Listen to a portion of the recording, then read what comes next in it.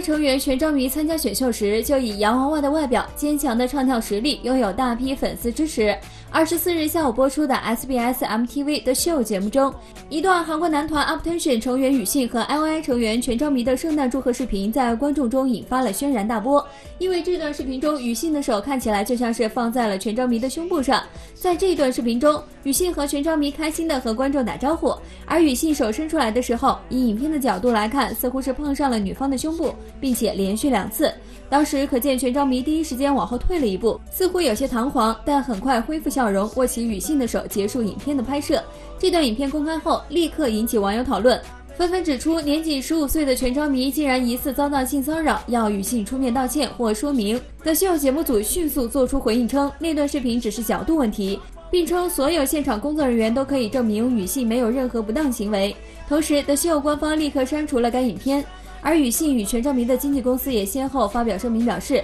雨信与全昭弥在拍摄那段祝贺视频时一直保持着恰当的距离，希望人们不要再过多的议论和猜测。